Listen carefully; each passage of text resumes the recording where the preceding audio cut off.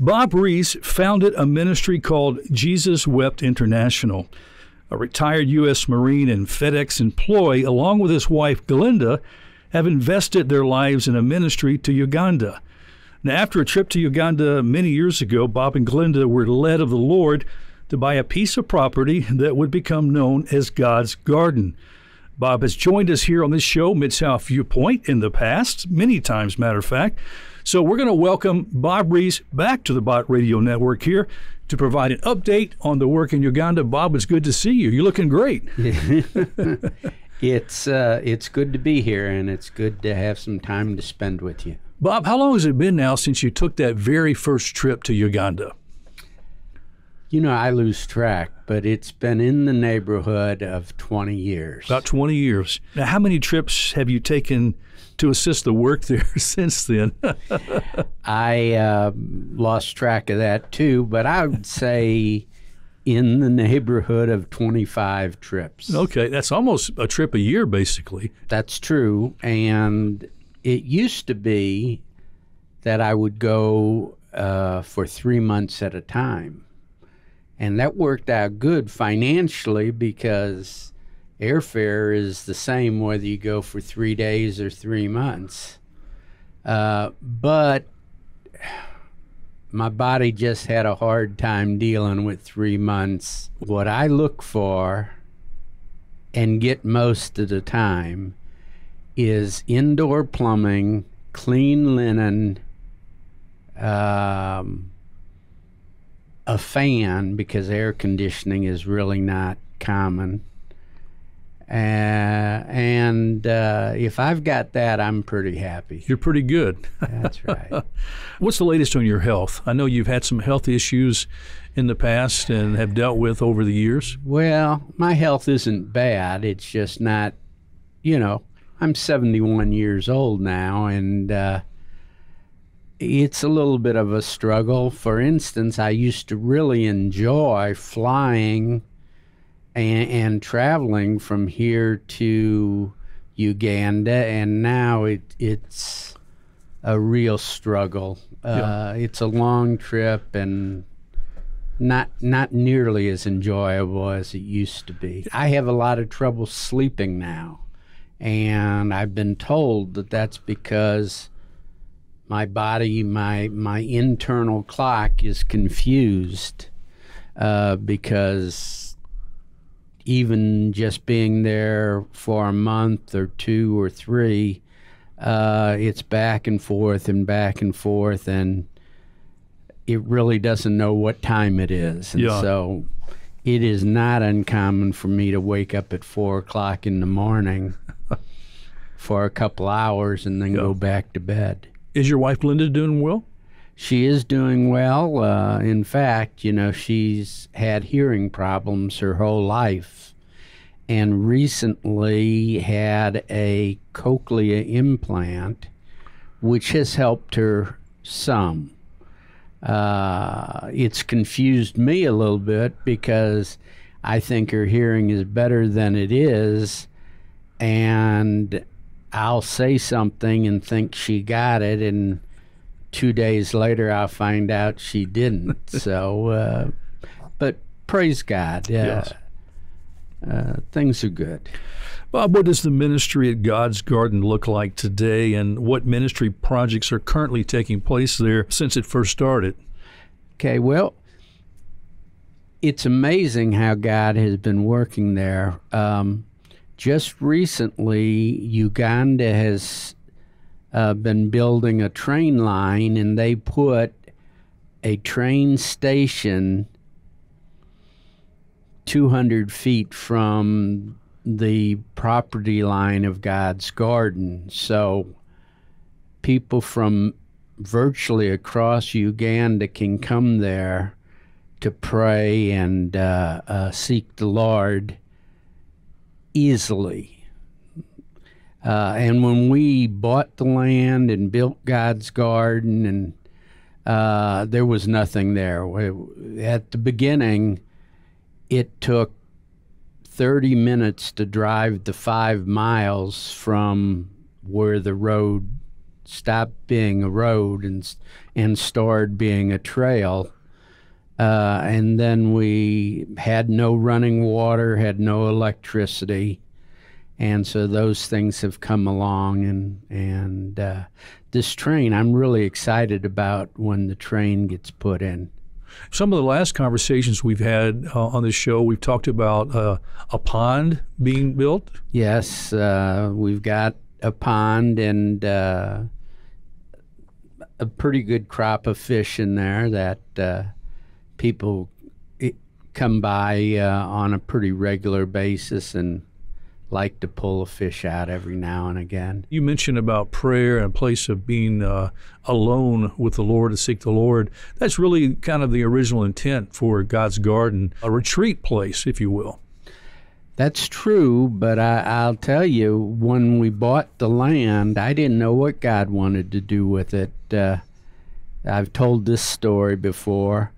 I had always said that I didn't want to have any land. I didn't because you know I'm not a professional pastor preacher and I didn't want things to detract from my sharing the word of God and I thought owning a, a facility uh, buildings and all the things that go with that might do that and one day I woke up and my wife uh, I told her that uh, I felt we needed to go out and buy some land, and she thought I was crazy, you know. So, but we did that, and it's been extremely, extremely beneficial and. Uh, uh, and not just in, within the walls of God's garden, but in the community there, where yes. classes for sewing. Uh, what are some other things you've been able to do? Well, the the sewing classes, uh, something that we we've done in the recent past is uh, even in Africa, just like in the United States, uh, younger people sometimes aren't as interested in religion, Christianity, as our uh, forefathers were. And so uh, we started uh, a ministry there that was called uh, Combat for Christ, where we taught younger people to uh, karate. And that's once again in in Uganda. There's not a, as much TV as there is here in the United States, but uh, it's there, and and you'll have three year olds doing karate chops and things. so uh, we introduced that, uh, and it's been well received by the younger generation. And uh, uh but it's all Christ based. It's not be prepared to go beat somebody up uh, the things, the the studying, the the the whole program. personal, yeah, the whole program is based around Jesus Christ. Bob, let's talk a little about Esther, a godly Sudanese woman that has served as land and ministry supervisor at God's Garden. And there's a story here, but I want to kind of start with how you first met Esther the the first time I went to Africa and I went to Sudan with a, a friend of mine, way on uh, not even a friend and a, a somebody I had met, and he invited me to go with him, and he said, you know. Uh, South Sudan right now is just coming out of a, a civil war uh, everybody's got guns. Uh, they're on one side or another. This is a place that you could get shot. So it's not some place you just want to go because you've never been there. So he said, pray about it. And if you want to go, you can go with me. Well, I did, and I did. And um, the place we stayed uh, Sudan for Christ was the name of the ministry. Esther was working there.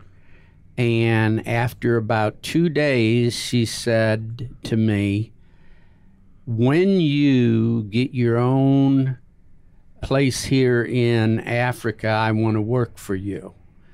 And at that point, I told her, Well, that's not going to happen because I have no intention to get land or what, all the things that go along with that. And then oh, I don't know, two years later, three years later, uh, is when I woke up and knew I needed to get some land. And not too shortly after that, or not too long after that, I should say, uh, I went to the little village where we bought the land. The man that had roughly three acres had actually gotten real close to selling it, and he was going to be able to sell it for $18,000. And he talked to me, and he said, I said, I, I can't pay $18,000. I, I'd been there for three months, and I was as broke as you could be in the first place. But uh, what I, I told him I could probably go back and scrounge up $8,000 and he said he'd sell it to me for that, even though he was going to sell it to a, a, a large school, Muslim school, that wanted to put a uh, university type situation there. And, uh, but he'd rather have a Christian place like God's garden. So well, he took a tremendous loss, and I went home, raised the the money, and in within a month sent it to him and closed the deal. That's how it all began. Well, Esther, as we've mentioned, who has run the God's Garden as the land and ministry supervisor, also adopted three girls and raised them to be her own since their families couldn't take care of them. She had a special request, Bob, concerning these girls. What was that request? Well, she had diabetes, and at the time, uh, she had had some toes amputated. And it's hard to be a diabetic in Africa. Uh, people in America think it's hard.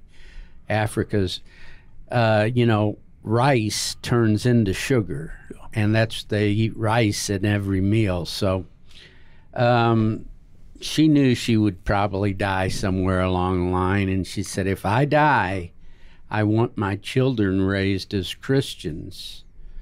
And then when she was getting sicker and had her foot amputated, she went to spend some time with her parents who were Muslims. And uh, ultimately, she stayed there until she died and they took over the girls, which is natural. Yeah. Uh, and I've been in communication with them and told them what Esther wanted, and uh, which was to raise these girls at God's garden. Yeah, yeah, and so uh, we're in the process of uh, negotiating with them, and I say that intentionally um, just like the United States was 75, 100 years ago, people who had farms had big families, and the families helped them manage the farm. So, so these girls would be very important to this family. That's right. And so uh, we will probably uh, we'll do whatever it takes because uh, I'm going there for the next month. The most important thing on my agenda is to redeem these uh, girls from the family, not because the family is mean to them or anything, but because they will raise them as Muslims. And Esther and the girls have been in church and uh, were good Christians. uh, I want to be able to continue that. And Bob, who would be caring for the girls once you were able to negotiate and work out the details for them, the girls to come to God's Garden? Who would take care of them? Who would be responsible for their care there? Well, I have two pastors that I've worked with for virtually 20 years um, that have their own kids, and the one, the senior pastor, has. Uh, taken in many of his own family's children and things to help raise them. And I'm sure that one of these two men can do that, or I know others that would uh, also be willing to. And that's definitely a prayer concern for our listeners as you travel back there in the next few weeks that God would work out a door, open a door for these girls to return to God's garden and under this care. And there's we can talk some other issues too as we close out. But I also want to mention before our time goes away, uh, there's a school in Nairobi, the capital of Kenya, where you're planning to have 300 students this semester. Now, how did you go from God's Garden in Uganda to Nairobi to start a school? well, I would tell you that definitely it's all God.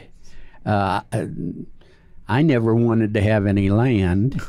I never wanted to open a school. And on both of those things, I argued with God and, and I lost, which I should have known better. But uh, the school, uh, I'll give you the short version, but basically, the school, uh, I was walking around the garbage dump in Nairobi. Nairobi is a city of one or two million, over a million people. And uh, I've been told that the garbage dump is the largest garbage dump in the world. Uh, it's big, but I don't know for sure that it's the largest.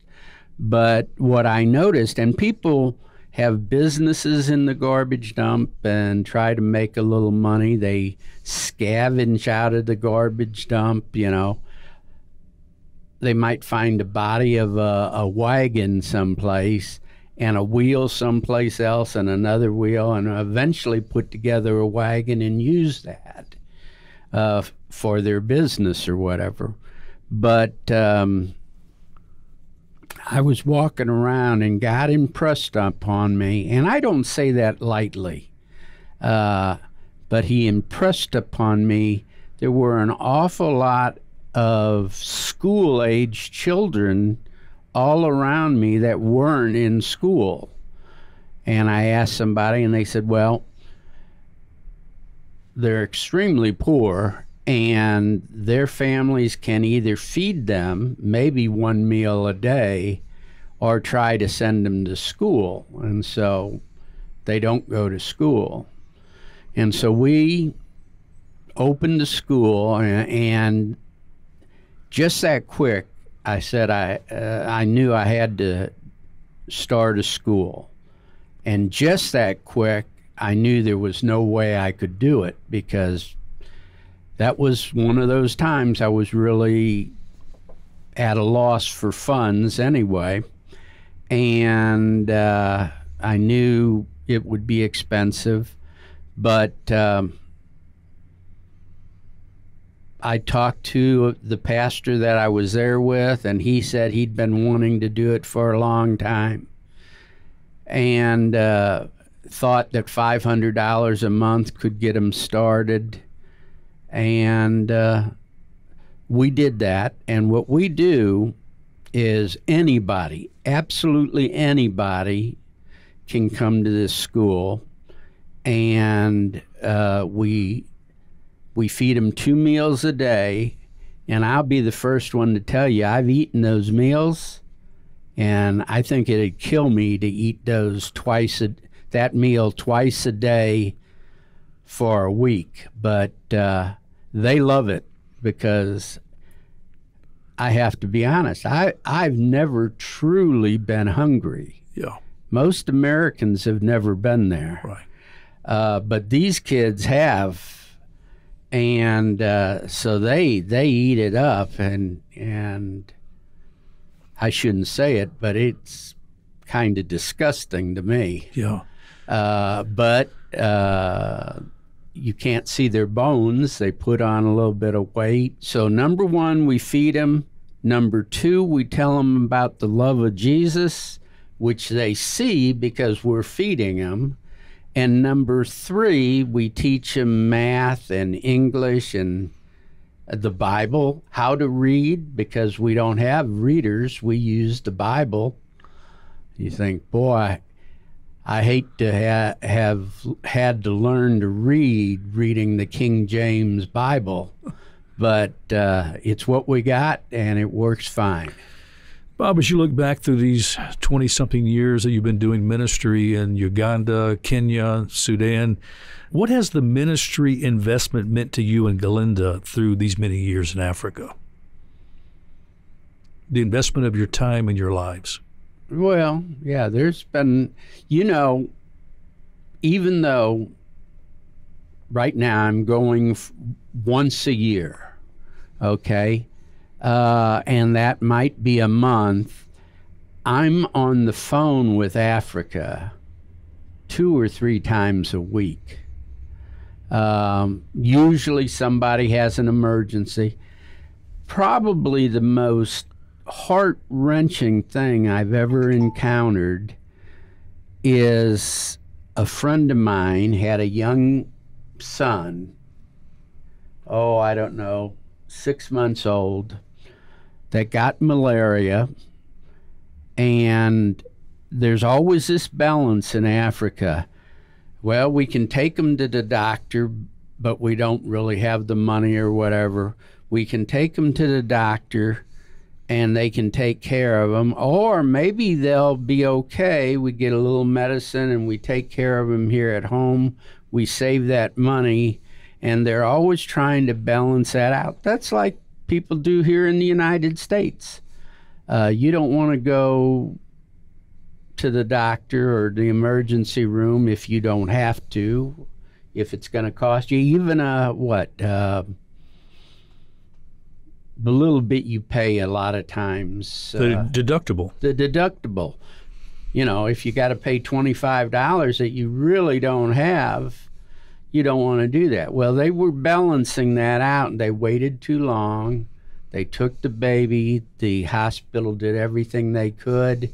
The baby died. And if they'd come to me, if they'd come to me a day, two days earlier and gotten $10 from me, we could have made a difference. $10, Bob? $10. $10 to start with because the the if I walk into a pharmacy in Uganda and I say, you know, I've had malaria before, I think I've got it again, they give you a little packet of pills. They say, take this for three days and it'll go away. Now, I came back from Uganda one time with malaria I remember that. took two days, uh, uh, uh, two weeks or whatever, I forget. Ended up in the hospital. They didn't know what it was. I spent over a week, 10 days in the hospital. The insurance paid $100,000 to cure me. So, uh, uh, in America, in the United States, they're not used to malaria. Yeah. Any regrets for spending time in Africa like you have? No, no. Um, uh, yes, I regret I couldn't have done it, haven't done more. Yeah. Uh, there is such a great need there. They're great people. Um,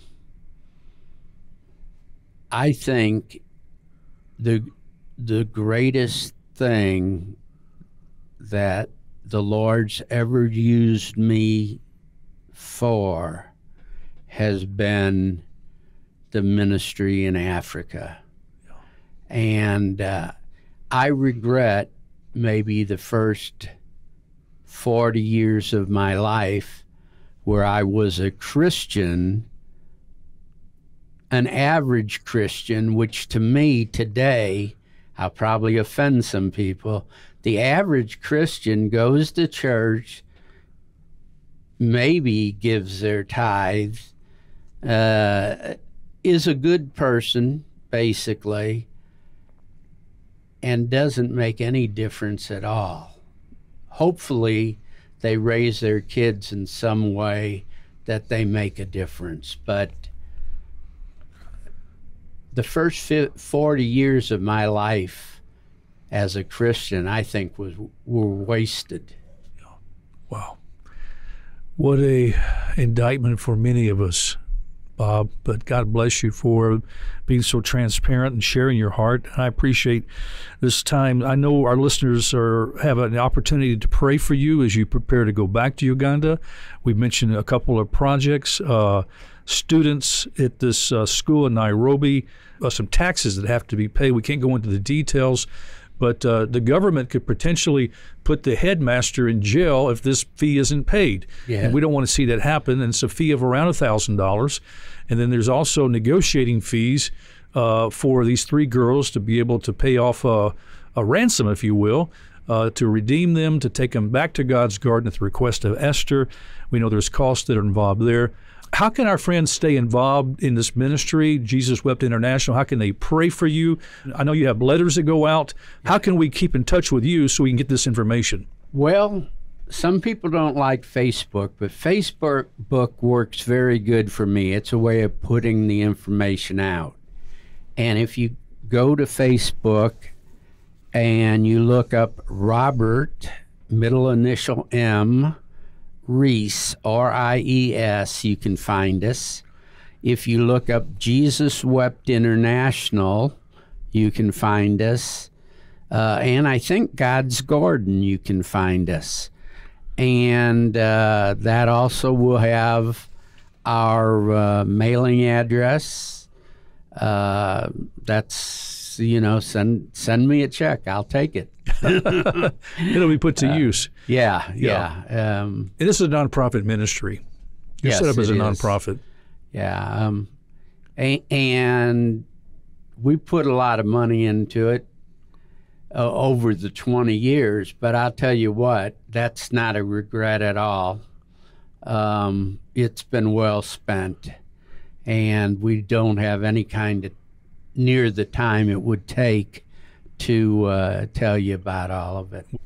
God just took your heart and just molded it into what He wanted to do. You know, you just made yourself available, and I think that's what God is asking each of us to do: is make ourselves available for the kingdom of God uh, as followers of Christ, to go beyond that Sunday morning pew and uh, even a tithe, but to offer our lives for His service, for the great things that he has done and has planned in reaching the world, reconciling the world, as the scripture says, uh, to himself through us.